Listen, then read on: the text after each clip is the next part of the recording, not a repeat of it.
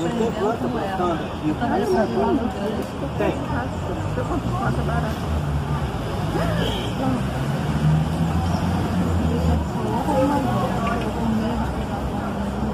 Olha o broto saindo aqui, ó. Ah, mas tem um mais barato. Tem? Esse é o broto. Esse é o Então, broto. esse é o novinho pequenininho. Se a gente, eu tenho muito Sim, sim. Mas esse está em crescimento.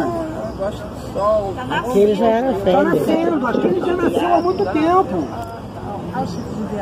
Esse também era pequenininho. Até a coloração é Esse que tá diferente. Também já É. foi pequenininho de... Vou dar tonalidade É, aqui. porque É, ele cresce. Dá pra perceber. Quando ele atinge a a- a- o tamanho tá muito linda. final, ele tem que ser maior ou igual ao pseudobulbo anterior. Se os meus pseudobulbos começarem a diminuir, é porque alguma coisa está errada com a planta. Se tem um bebê que ele começa a crescer e de repente ele para de crescer com 10 anos de idade, já está com 18 e não sai desse tamanho, teu filho está com algum problema de saúde. A planta também é a mesma coisa. Se ela parou de crescer, Quer água? também- vocês conseguiram captar essa coisa do crescimento da planta? A mesma coisa a floração. A minha planta começa a florir, ela bota uma flor, três flores, no ano seguinte cinco flores, no ano seguinte sete flores. A planta está crescendo e está atingindo a sua maturidade. O final dela, ah, o limite dessa, dessa espécie, desse híbrido, é 15, 20 flores no cacho. Bacana, 15, 20 flores. A planta fica com 60 centímetros de altura, dando 15, 20 De repente minha planta começou a diminuir de tamanho e começou a diminuir a quantidade de flor na haste. A planta está com problema.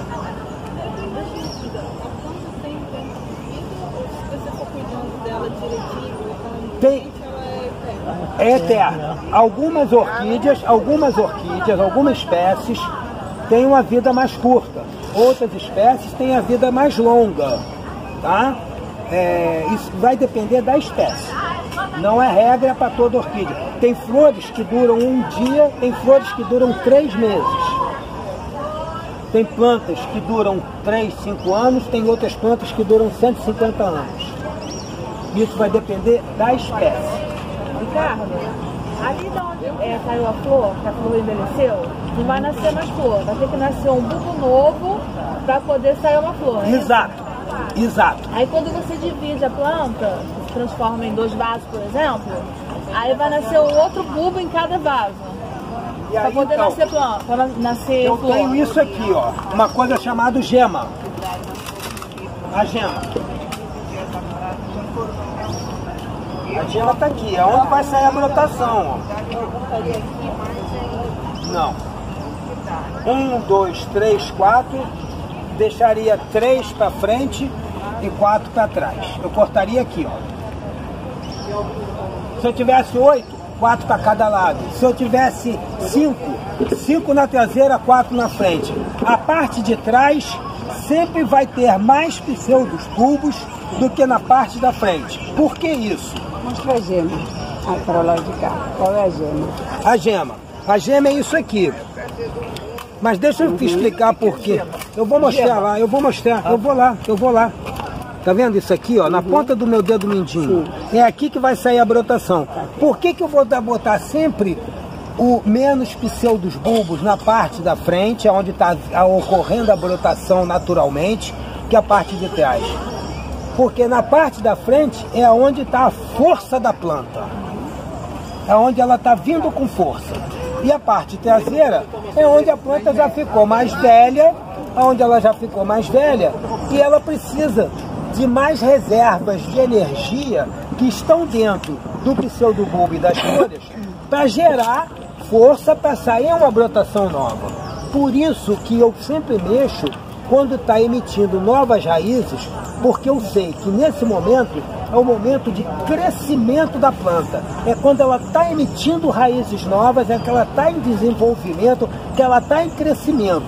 Então, se eu corto essa hora, a probabilidade da minha traseira também acompanhar esse ritmo da planta é certo. Aconteceu agora, eu tinha uma planta muito bonita, é, de coleção, cresceu no vaso, eu tirei a traseira, botei no vaso e ela já, já emitiu dois, dois já está com duas gemas já crescendo com 20 dias. Tem 20 dias que eu separei. E estava emitindo raiz. Emitindo raiz.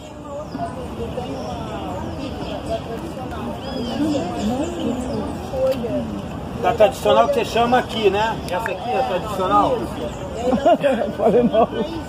Isso. Aí acho que é uma. É uma muda, daqui, tem- deu aqui tem na haste floral, é isso? não sei. Deu, aí Eu quando essa, essa mudinha ficar com duas, três não raízes, é. você destaca porque eu e cria um novo mas é que eu também Ela é bem salgada essa. É. Eu tenho que 22 a minha. Vamos imaginar, vamos imaginar que essa planta estivesse assim, tá? Vamos imaginar que ela estivesse, ela não estava na, na beirada do vaso, mas vamos imaginar que ela estivesse nessa situação. Pode. Bem fora do vaso, que nem aquela lá, que nem aquela lá, e eu tenho toda uma parte traseira do vaso vazia, né? E a planta do lado de fora. Ranquei a planta, limpei, tirei excesso de raiz e agora eu vou colocar ela para dentro do vaso. Eu vou pegar essa parte que estava desencostada da parede do vaso e vou fazer isso aqui, ó. A gente encosta no vaso novo. O mais novo que a gente encosta na parede do vaso. O mais velho. O menor. O mais velho. Olha só. Eu vou encostar sempre a traseira da planta. Não importa esse negócio de mais novo ou mais velho. Vamos gravar de um outro modo? Vamos gravar essa coisa de um outro modo? Eu tenho a frente da planta, aonde a planta está em crescimento. E tenho a traseira da planta, aonde a planta já cresceu e a parte mais velha. Tá? A parte de crescimento vai ser sempre aonde ocorreu a flor. A flor ocorre na parte da frente da planta. A brotação ocorre muito mais na frente da planta do que na traseira. Também pode ocorrer brotação na traseira. Tá? Eu tenho vasos meus lá que estão brotando na traseira. Mas é mais fácil brotar pela frente, onde está a energia da planta, onde ela gerou a flor, a, a- geração de uma flor consome muita energia da planta. Tá? Ela, para fazer essa coisa de gerar a flor, se equipara à geração de uma criança, uma gestação de uma criança para a mulher. A- o, a- o gasto de energia que vocês têm para gerar uma criança é comparável à energia que é gasta numa orquídea para gerar sua flor. Ela passa o ano inteiro guardando energia, se alimentando para fazer essa coisa da floração.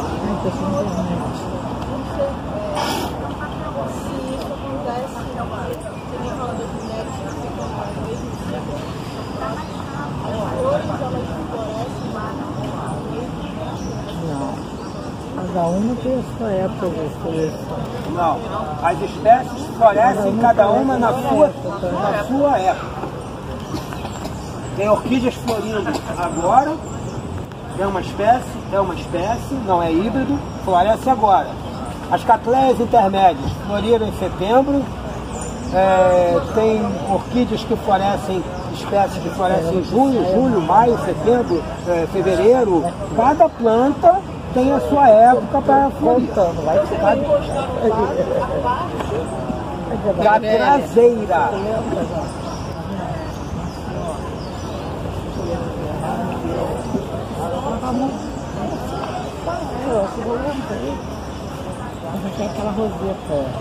Substrato, substrato usado eu não reutilizo.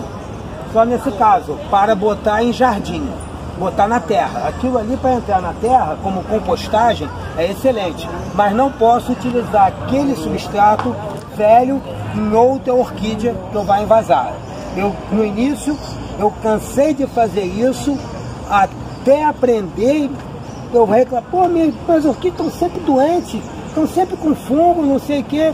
Aí um dia na Orquídea Rio, o colega virou e falou assim, o que, que você faz com o teu substrato velho? Eu falei, ah, alguns eu jogo fora, tem outros que eu reutilizo. Quando eu olho, para de fazer isso e bota, deixa de ser canguinho e compra substrato novo e, reu, e joga o teu velho no lixo. Você vai parar com esse problema de doença. Acabou.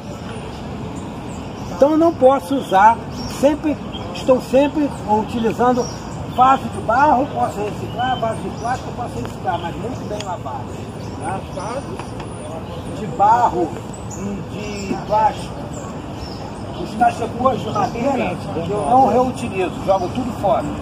Fica velho, bom, eu não tenho. O que, que você quer? Dreno, não tem.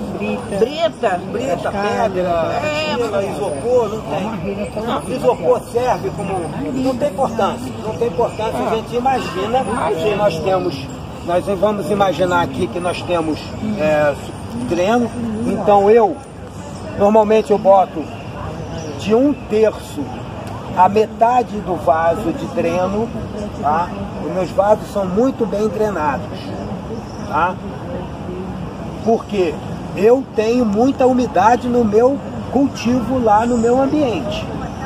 Minhas plantas tomam relento à noite, então eu não posso estar um, um vaso derretendo muita umidade. falar em relento, eu pego na sala e levo à noite pra varanda para elas pegarem os fresquinhos.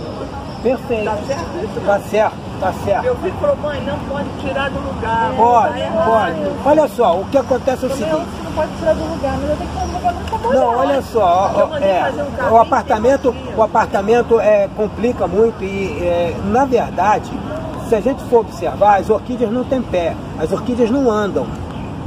E já aconteceu de você ter uma orquídea florida aqui na ponta dessa bancada, já aconteceu comigo. Aqui ela florida. Por alguma carga d'água, um des- descuido meu, transferi a planta e botei desse lado aqui da bancada. Ela não. No ano seguinte ela não floriu. Mas pode levar então à noite pra, pra varanda? Pode. Mas tá tirando do lugar. Depois você colocava só pro ventinho. Não é isso. A Ela tem que voltar pode pro mesmo ficar- lugar. Se você chegar de noite, o problema da planta é o sol, é a luz. Tirou do lugar que ela está acostumada, É o só dia, é a luz. A planta vive para a luz. A planta vive para a luz, ela cresce no sentido da luz. De noite ela não tem esse problema. Então, por que, que você não cultiva suas plantas na varanda? Sol pleno. Vai na sala. Por que, que você não bota um sombrite? Por que, que você não bota uma. Na sala tá tão bonito. Deixa na sala. E você está conseguindo cultivar na sala? Pô, só que eu elas lá pra pegar esse sereno. De noite, de dia. De dia, de dia você bota de volta. Aí quando você trouxer para dentro da sala, é importante que você coloque no mesmo lugar que elas estavam Eu antes. bem o espaçozinho dela. Eu mandei fazer um carro. Coisa. Ah, você tem um carrinho, leva o carrinho e vai. Ah, resolveu, deu solução para o problema. Acabou. Já deu solução para o problema. Bem certo. Tem uma senhora em Niterói que ela pô, tem uma. Ela me deu, eu ouvi a palestra, ela me deu o endereço de onde faz esse carrinho. Aí- Tem a rodinha, eu mandei fazer lá. Ah, então pronto, está encaminhado. Ah, é? Ela tem 140, 140 plantas dentro de um apartamento em Niterói. Pois é, é o que eu vou precisar trazer as minhas. Aí o que, que ela fez? Pegou o marido e falou assim, marido, eu quero que você puxe um cano lá da, da área de serviço aqui para varanda. E o cara esburacou a parede toda e puxou o cano. Esse é o arque-marido, né? É o arque-marido. Ela E mas, e mas ela tem aquela bomba Agora para dar banho, seguinte, para eu te molhar. levo lá pra- pra ter- eu te levo na exposição, mas eu vou lá no bar tomar minha cervejinha. E ela não fala nada. Mas esse carro é excelente, porque tem a rodinha, né? Exatamente. Então eu vou envasar isso aqui.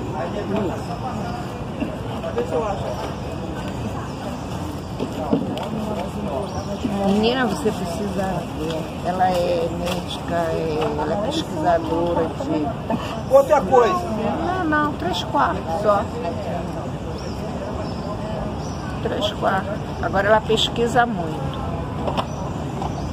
Ela pesquisa muito, né, o Ricardo? Quem?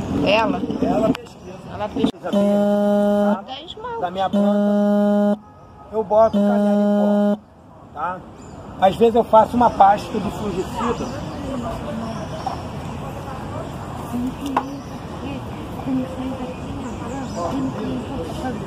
Eu pego fungicida, boto um pouco d'água, faço uma, uma, um- uma calda, né? Faço uma calda com a pasta, tá? Pode ser o óleo mineral com canela também? Pode, eu não gosto de usar muito óleo mineral não. Não? Não. Eu uso é, a canela em pó mesmo, pura. Só.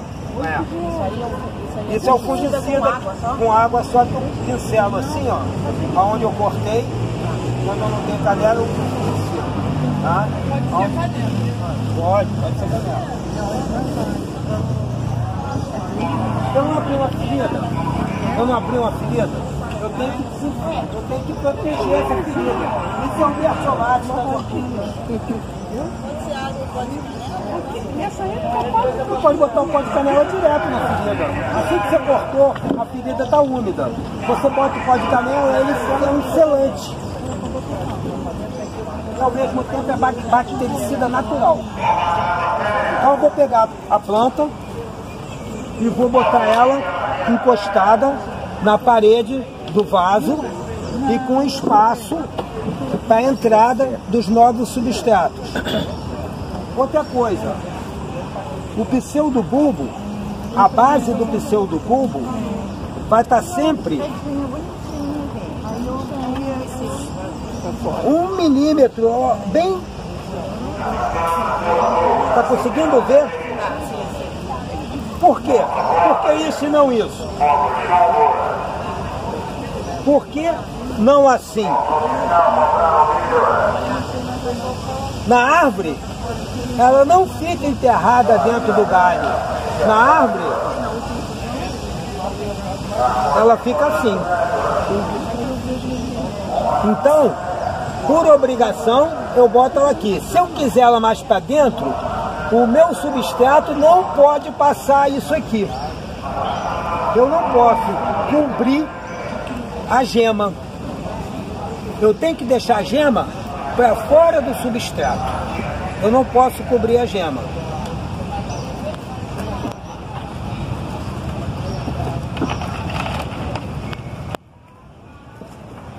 E aí eu começo a botar na frente, aonde tem um espaço. Porque já evita da minha planta chegar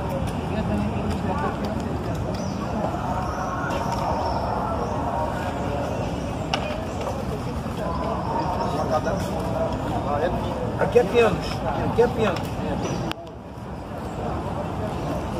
Também posso misturar com a brita zero ou a 1? Pode misturar com Brita 1, pode misturar com, com. Isso vai depender. Eu misturo os três: brita, casca de É. pinos e carvão. Isso, Brita, casca de pinos, Pinos, carvão. Tem carvão, gente que gosta desse, desse, É, dessa- assim. desse, desse conjunto. E tem um gente que gosta pinguinho de esfagno Tem gente também. que é. gosta ainda bota um pouquinho de esfago, tem gente que gosta de macadâmia, Macadâmia. brita, É. eu já vi macadâmia, brita, esfagno, eu já vi cada um. Molho meu filho todo dia. Casca de ovo? na árvore Não. todo dia, né? Calor danado, todo dia. Com casca de ovo você Ela tem, um- seca você já tem né? o, O cálcio. o cálcio disponibilizado. Casca de ovo, você tem que moer a casca de ovo. É. Ele vai ter que decompor para gerar o sal de cálcio para a planta poder absorver. Está pronto aqui. Cálcio e magnésio. Existe um adubo chamado cálcio e magnésio. E a planta, o cálcio na planta, ela utiliza pequenas quantidades de cálcio durante o ano. É um nutriente fixo na planta, ele não se locomove. Tem, tem nutrientes que saem da parte traseira da planta e migram a parte dianteira. Se a planta precisa de energia, de algum nutriente específico, ele migra. O cálcio é um nutriente que ele não migra. E ele, a planta utiliza de pequenas quantidades. Então você basta você fornecer duas vezes ao ano cálcio e magnésio para ela, que você tá, não precisa se preocupar com esse negócio de casca de ovo. E se você usa o adubo orgânico, o Viagra, ele já tem farinha de osso, ele já tem farinha de ostra, que isso já tem cálcio ali dentro. Então você não precisa se preocupar com esse negócio de, de, de pó de café, casca de ovo, casca de batata, casca de banana, essas coisas não funcionam muito bem para as orquídeas não. Tá? Essas compostagens não funcionam. É, às vezes uma compostagem de folha é mais benéfico para as orquídeas, que é realmente o que nas árvores, aquele chumaço de folha que fica no, na forquilha que vai deteriorando com a chuva, é que alimenta as orquídeas. Tá entendendo? Essa hora, gente, eu faço muita pressão nas paredes do vaso. Eu nunca pressiono em cima da planta. Eu sempre faço pressão na parede do vaso.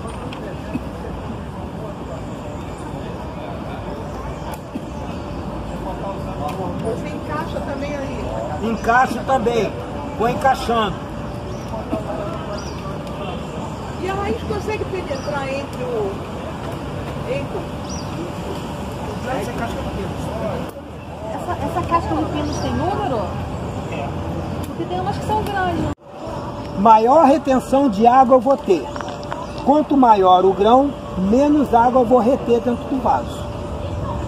Vocês conseguiram enxergar isso? Que quanto menor o dreno, ou quanto menor o substrato, o grão do substrato, os grãos pequenos retém juntos, retém mais água do que grãos grandes, porque o espaço, o interespaço entre os substratos facilita a passagem da água. Quanto maior. Hein?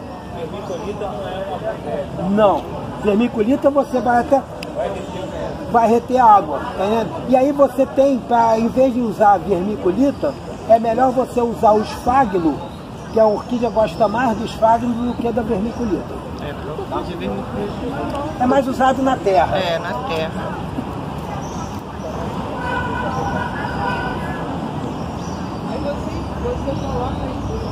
Aí eu faço assim, ó, eu pego e levanto assim, ó. Se tá saindo, a orquídea tá fixa.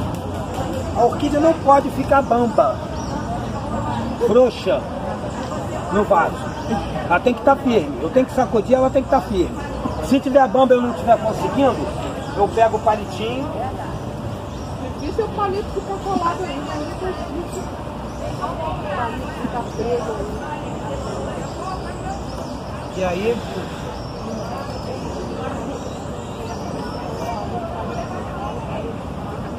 palito já me dá uma firmeza maior.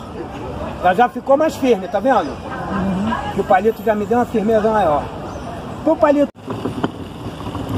É isso, pessoal. Gostaram da aula? Eu resolvi gravar para vocês verem, porque muita gente tem sempre muita dúvida, né? E essas dúvidas sendo tiradas com um profissional é bem mais legal, né, pessoal? Então, quem deu a palestra foi o Ricardo, do Orquídea Rio. Ele também... Ele tem um negócio que ele falou que chama Doutor Orquídeas. Ele vai na casa das pessoas e e orienta, né? Faz os replantes e orienta as pessoas que ainda não sabem a cultivar suas orquídeas. Então eu vou parando por aqui, tá, pessoal? Eu tô indo me embora. Eu comprei uma orquídea linda, vou mostrar para vocês quando chegar em casa. Ela tá com botão ainda, ela não tá com a flor aberta, mas eu vou mostrar para vocês e quando a flor abrir vai ser uma alegria só. Então eu vou terminando por aqui, pessoal. Vou desejar para vocês um ótimo dia. Fiquem todos com Deus e até o próximo vídeo, pessoal. Tchau, tchau, gente. Espero que vocês tenham gostado.